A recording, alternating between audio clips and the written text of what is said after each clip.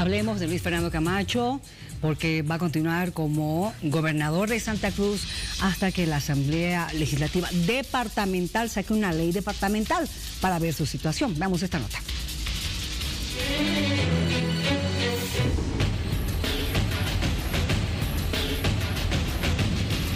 La jornada de este jueves se realizó la audiencia de acción de cumplimiento en el caso del gobernador de Santa Cruz, Luis Fernando Camacho, donde se definía si el gobernador continuaba a la cabeza de la gobernación de Santa Cruz. En plena audiencia, Camacho no aguantó y derramó algunas lágrimas que pudo ser captadas por las cámaras que estaban transmitiendo las resoluciones que brindaban las autoridades jurisdiccionales.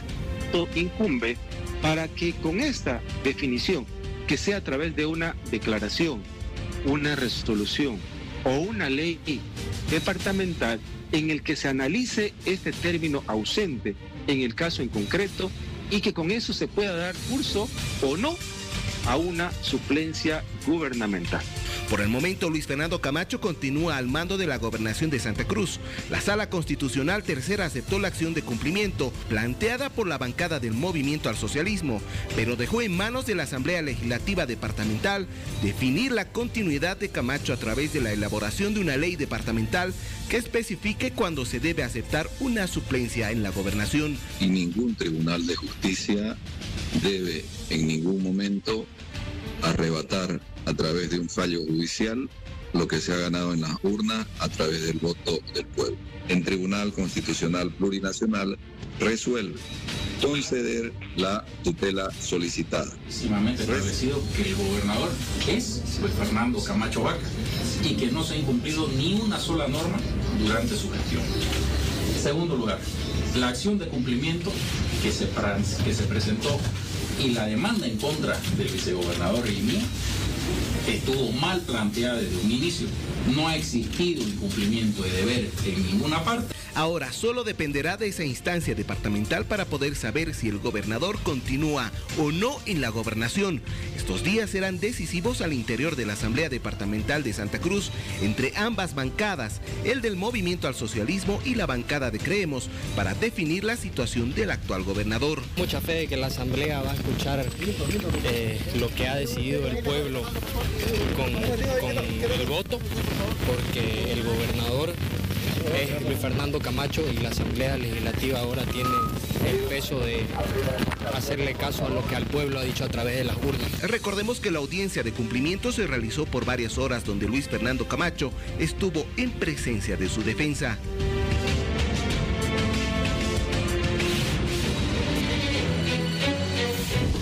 Hablemos de ese tema con la asambleísta de Creemos, la señora Paola Aguirre, para que usted, gracias por estar con nosotros, nos pueda aclarar algunas cosas. Por ejemplo, Sí, tiene que haber una ley departamental realizada por la Asamblea Legislativa Departamental. ¿Hay dudas sobre los artículos 25 y 26 del Estatuto Autonómico? ¿Me puede explicar esto, por favor? Muy buenas noches, muchas gracias por la invitación. Un saludo a toda la ciudadanía cruceña y boliviana que escucha su programa. Efectivamente, el día de hoy la Sala Constitucional Tercera resolvió la acción de cumplimiento presentada por asambleístas departamentales del Movimiento Socialismo que maliciosamente pretendieron introducir una supuesta duda respecto a los alcances del artículo 25 del Estatuto Autonómico Departamental. Esto que para que la Sala Constitucional Tercera resuelva conceder la tutela, pero a la vez establezca eh, la necesidad directa de un vacío legal que consideran existente. La Asamblea Legislativa Departamental legisle respecto a lo que debe interpretarse por ausencia temporal. Nosotros consideramos desde el primer momento en que este tema sale a debate, insisto, planteado por la gente del movimiento al socialismo con el propósito de generar inestabilidad institucional, y que dicho sea de paso ha sido un cuestionamiento únicamente planteado por ellos, puesto que ni el gobernador Camacho, ni el vicegobernador Mario Aguilera, ni los asambleístas que formamos parte de la mayoría dentro del Parlamento cruceño habíamos cuestionado, porque en ningún precepto normativo, ni contemplado en el estatuto, ni contemplado en la Constitución, se establece que una persona por estar guardando detención preventiva deba ser suspendida del ejercicio de sus derechos políticos o derechos ajenos a la libertad de locomoción. De hecho, ya hay antecedentes por parte del propio Tribunal Constitucional Plurinacional que en la sentencia constitucional 2055 ha señalado claramente la suspensión temporal en el ejercicio de funciones de una autoridad electa es inconstitucional.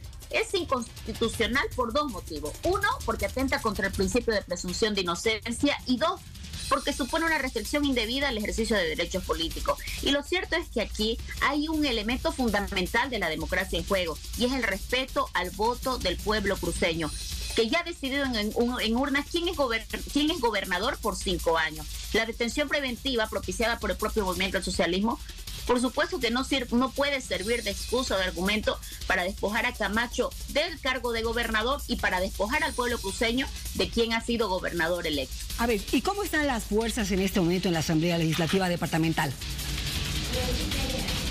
Si usted me si nos remitimos a los resultados de elecciones que hemos tenido, llámese directiva, llámese comisiones, eh, creemos ha tenido la victoria en las diferentes elecciones que se han venido dando a lo largo de los dos últimos años, es decir, bueno, en realidad los dos primeros años de nuestra gestión.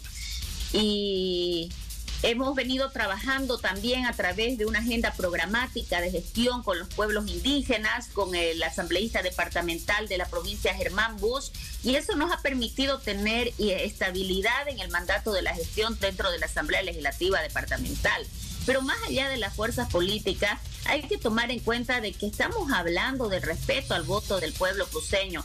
Y lo interesante de todo esto va a, ver, va a ser ver qué asambleístas están del lado de la democracia y qué asambleístas están del, del lado de la del menosprecio al voto del pueblo cruceño, porque no existe en materia constitucional la posibilidad de que un constituido, como somos nosotros, como son los jueces, como es el presidente del Estado, puedan estar por encima del poder constituyente. Y la expresión auténtica, originaria de la decisión del pueblo es precisamente el proceso democrático a través del cual se acuden a urnas para elegir a una autoridad. Lo dijo justamente el presidente de la departamental, de la legislativa departamental de Santa Cruz.